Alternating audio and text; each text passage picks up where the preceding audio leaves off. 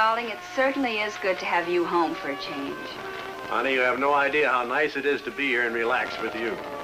That's the nicest thing you could have said. And that dinner you cooked tonight. That's the best I've ever tasted. From anybody else, I'd consider that a compliment. But since you're the great Dick Tracy and never have time to come home for meals, the only thing you can compare my cooking with is the hamburgers and hot dogs and coffee that you manage to eat between cases. Now, now, Tess. I think you're exaggerating a little bit. Exaggerating? Why, even when we went away on our honeymoon, you left me. For three days, I didn't know where you were. Well, could I help it that Killer Randon started operations right where we were? Well, I certainly hope you're going to stay home tonight. I am, honey. Uh, and just to prove it, I'm going to get rid of this gun. At least that's a step in the right direction.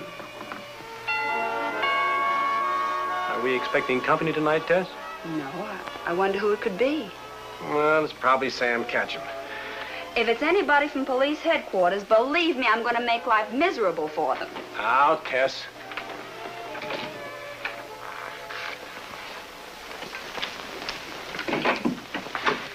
Yes? Is Mr. Dick Tracy in? Yes, who's calling? I'm Bordeaux of the fingerprint department down at headquarters. Oh, no. Don't tell me it's business again. Mrs. Tracy, believe me, this isn't for business. It's a pleasure. This way, please. Two men from headquarters to see you. Hey, Copper. Tracy, you won't be needing this gun any longer. You're coming with us. Darling! Darling! you killed my husband! Take it easy, lady. You'll live longer. Mrs. Tracy, your husband ain't dead yet. He'll be coming to in a few minutes. And when he does, he's coming along with us.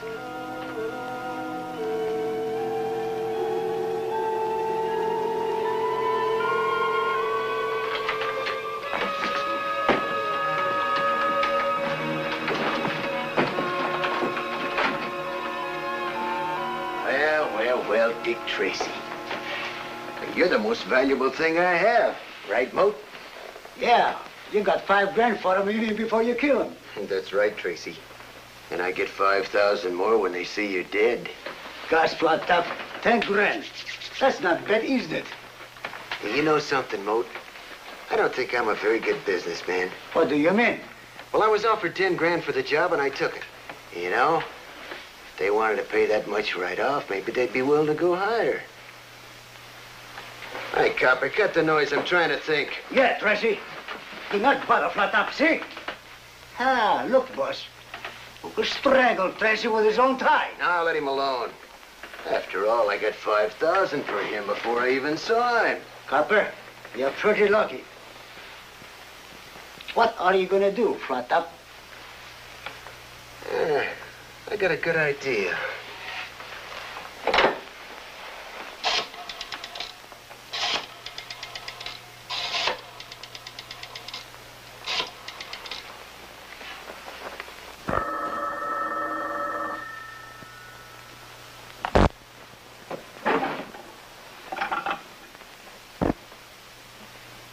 Hello? It's me, name Gib. Flat top. Flat top. This is my private phone, Flat Top. How many times have I told you never to use it? I got news for you, Nam Gib. I got Tracy. Just picked him up less than 15 minutes ago. Good. Well, I've got another $5,000 for you when I know he's dead. Nam Gib, I've been doing a lot of thinking. Now, you're the head of a big syndicate. And I know who your partners are. And I'm telling their names out loud so Dick Tracy can hear me. But first, I want to tell him your phone number is 5704. You got that, Copper? 5704. My name's Nam Gib. He's the head of the syndicate. And his partners are Rentnoy and Faber. What are you trying to pull, Flat Top? Have you really got Dick Tracy there? Take it easy, Nam Gib. Uh, hold it a minute. Hey, Mo, take a gag off Tracy. I want him to say a couple of words to my friend here. Hey, come on, Tracy, say something. All right, talk, talk. Look, Flat Top, you may kill me. But you'll never get away with it. No cop killer ever does. That's enough out of you. Put the gag back on, Moat. Yeah? Did you hear that? There's only one guy in the whole world that talks like that. Oh, all right, Flat Top. You, you've convinced me you've got Tracy there. And you'll get the other $5,000 when you prove that he's dead. But 5,000 ain't enough. I want 45,000 more. I've decided this job is worth at least 50 grand. and I'm sure you can afford it. Why, you dirty crook, that's, that's nothing but blackmail. Of course it's blackmail. But if I let Tracy go, I've still got the $5,000. And they let me go because I told them your phone number and your name. And I'm going to give him enough more information to put you out of business, see? No, no, no, no, no, Flat Top. Use your head. Take it easy, take it easy. Everything is going to be all right. Now, just cool down, Flat Top. I'll, I'll see if I can't raise the $45,000. Just give me your address and phone number. And I'll come right over and we'll discuss the whole thing. Oh, no, you don't. You're not going to send a couple of guys up here to try to take care of me, too. I'll call you back in a couple of hours. And you better have the dough. Well, you're worth $50,000 to me. Oh, Moat, be sure and treat our guest nice and gentle. Sure, boss. You know, he looks to me he's a little bit tired. And he could use some sleep. Well, why don't you see he takes a little nap? Sure, boss. That's pretty good. pretty good.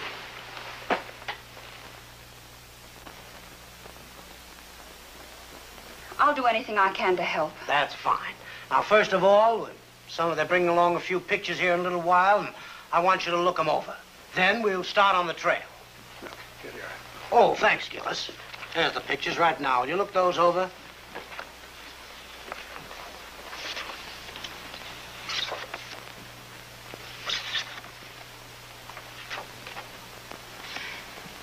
One of the men. Good. That's the lead we needed. Tess, you wait here. I'll go to Chief Patton's office and get things rolling. His name is Moat. Tess just identified him. He's got a long criminal record. Oh, he's one of the pair that took Tracy, all right. Well, they won't get away with it. I've already sent out a general alarm. Now I'll put out this description. That ought to get results. That's not enough, Pat. I'm going downtown myself. I got a few sources I want to tap.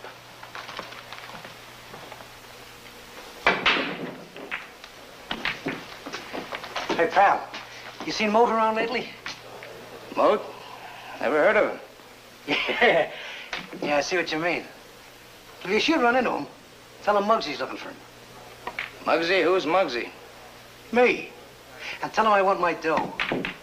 What'd he do, Welsh on you? You can say that again. Well, I don't know him, but I heard that if you want Moat, look for Flat Top. Flat top, eh? Thanks.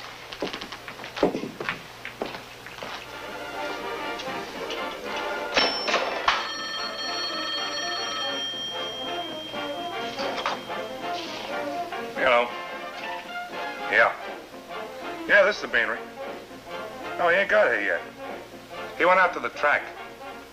Yeah. You got good coffee. Yeah. Refill?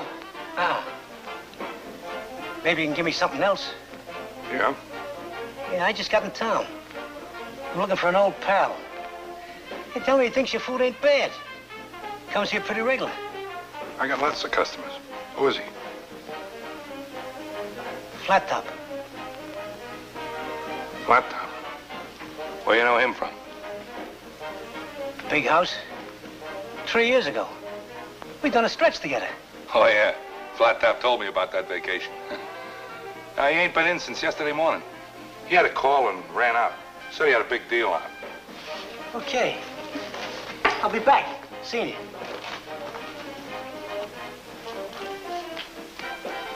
Extra, extra, get your paper here. What do you read? Extra, get your paper here. Yes, sir, get your paper here. Extra, extra, get your latest paper here. What do you read? Extra, extra, get your paper here. Extra, extra, extra. Paper, mister? How's business, Timmy? Mr. Catchem, I've been keeping my nose clean, Mr. Catchem. I ain't done nothing honest. I... I know, and I'm glad of it, Timmy. I just stopped by for a little favor. Well, gee, Mr. Catchem, anything I can do, I'll be glad. Just information. Oh, a lot of people go by here, and you're on a spot to hear what's going on. I ain't mixed up in nothing. I believe you. Maybe some of the boys buy papers here. Maybe they talk. About what? Oh, what's this deal that Flat Top is on? Flat top? Honest, I don't know. Whatever you know, spill it. Please, Mr. Catchem, only one thing. It's with this guy, a big-time operator by the name of Nam Gibb. Damn, Gib, eh? Thanks, Timmy. I won't forget you. Extra, extra. What do you read? We got it. You know, I've always wanted to have a nice, friendly conversation with a copper. What do you want to talk about? Music? Politics? Books? Or killings? you got a great sense of humor there. Thanks. Now, what do you want? Oh, nothing. Nothing much. I just thought I'd tell you a few things you'd like to know about. But seeing as how I'm gonna kill you, it doesn't matter very much. That should be very interesting. Well, I used to have a gang in Cleveland. Working slot machines. A lot of dough in that. Of course, we got knocked off a couple of times. It cost a little dough, but we got out of it all right.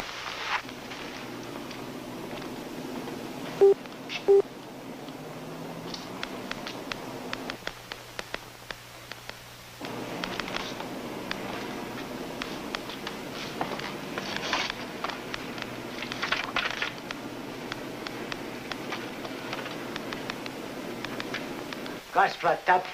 I didn't know you'd done all them things. Gee, you really get around. Yes, you really do get around. But you've done so much wrong that your time should be up pretty soon. Speaking of time, why don't you go call Lemke and see if he got your dough for you? That's a good idea. He said if he could get it, he'd have it in a couple of hours. Well, if you're going to kill me, do you mind if I have a pencil and a piece of paper? I'd like to write my wife Tess a farewell note. Flat Top. That's the silliest thing I ever heard of. You aren't going to let him do it, are you? Sure. His wife seemed like a good kid. Yeah, but she's Dick Tracy's wife. Untie him. I'll get him a pencil and paper and let him write. Thanks.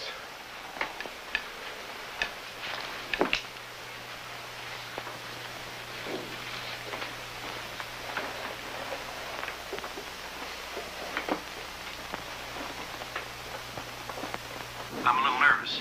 Okay, go ahead. Write your letter any way you want.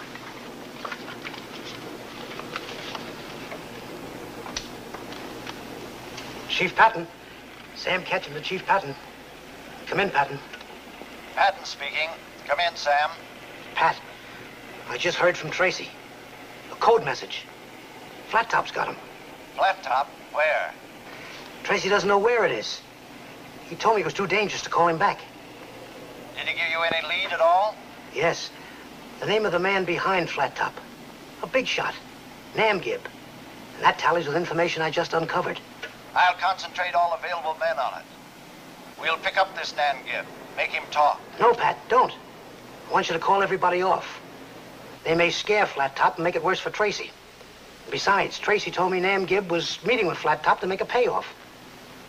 What's your next move? I'm gonna find Nam Gibb and tail him. He'll lead us to Tracy. Out.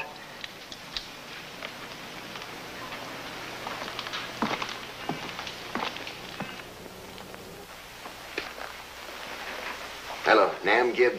This is Flat Top. Yeah? I've got the $45,000 for you right here. Yeah, when do I get the dough? Just as soon as you've taken care of Dick Tracy.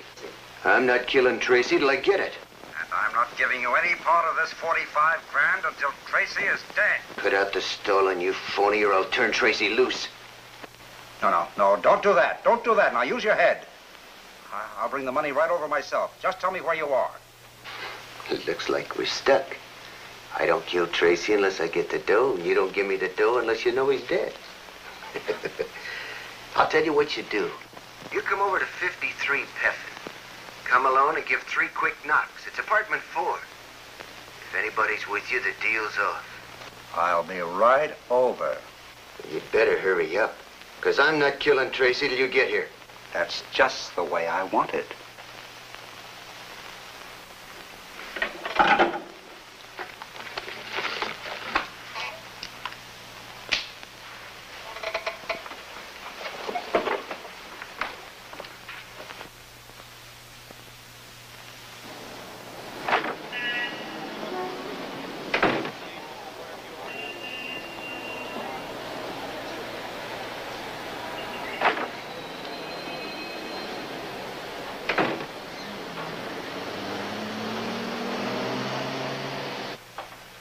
Have you finished that letter yet, Tracy?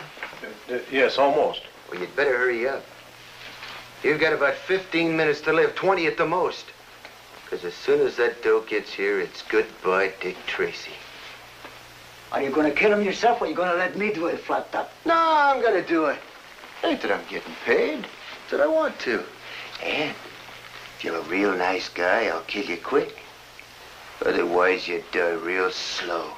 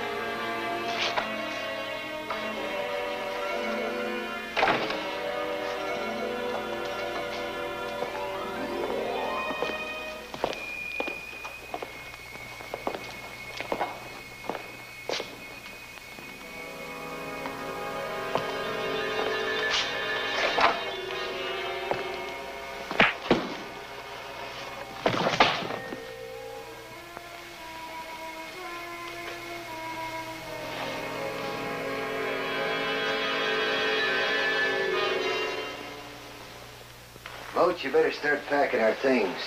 As we get that dough, we're gonna have to leave this town pretty fast. Especially after we bump off Mr. Tracy. Well, you haven't killed me yet, Flat Top. And when you do, you're bound to be caught. There's only one mistake I may have made, and that's not shooting your wife. She's a witness, you know.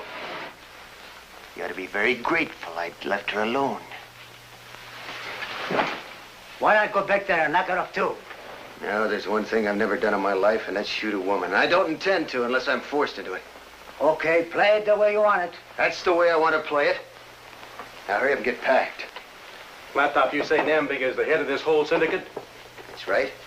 He's been organizing the top criminal outfits in this town for the past three weeks.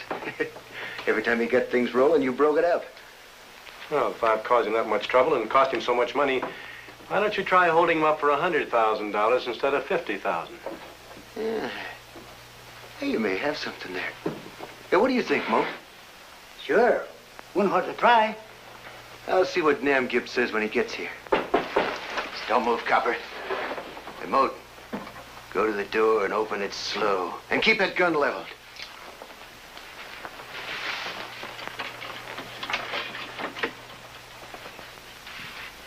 All right, shut it. Are you alone? I was expecting a reception something like this, guns and everything. Oh, yeah. I've decided to live a little while longer, so I came alone. But that's real smart of you. In my business, you don't get to be head of a big syndicate until you learn to do things slowly and very carefully. Otherwise, somebody might kill you first. so you're Nem Gibb. Us boys down at the bottom never get to see a big shot like you. Too bad. I don't have much time to get around. All right, all right, let's can the chatter. Where's the dough? That's better. Direct and right to the point, huh? I've got the money right here. And I've got Dick Tracy. So I see. Well, who does what? Take that dough out of your pocket real slow and put it on the table. I'll stand over here and cover Tracy and you while Moat counts the loot. Okay, that's the way you want it. There it is.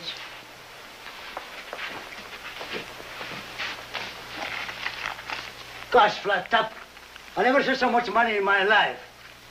45 grand. Moat, give me the money. No, you don't. Not until you kill Tracy.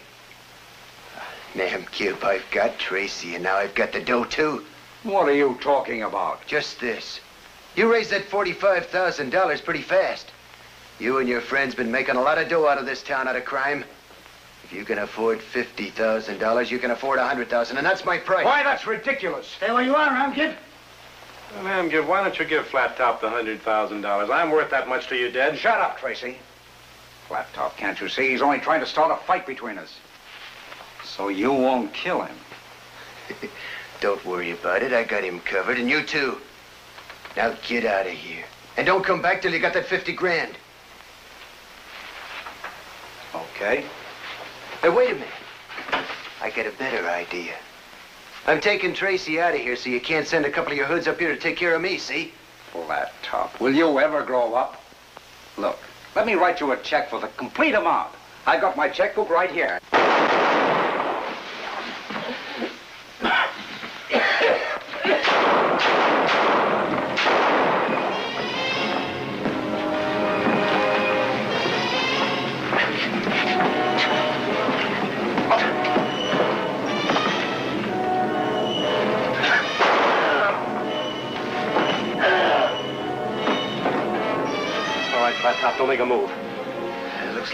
Me, Tracy. You all right, Tracy? Yeah. Looks like you really did a good job. I don't know why it is, but you seem to have all the fun. It may seem like fun to you, but believe me, I'd rather be home with Tess reading my newspaper. I can believe that. All right, Flat Top, let's go. Sam, you better call the coroner.